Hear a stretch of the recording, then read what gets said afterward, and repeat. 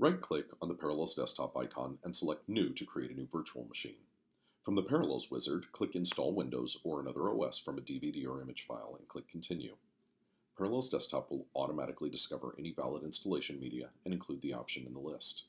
In this case, we have downloaded the 64-bit edition of Windows 10 from Microsoft's website.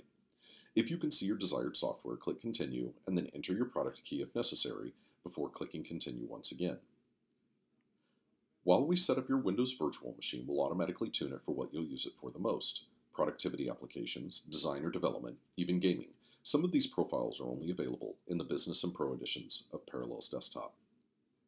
After clicking Continue, you can verify the location and name of your virtual machine as well as customize your virtual machine settings. The Parallels wizard will automatically install Windows for you and then launch your virtual machine when the process is complete.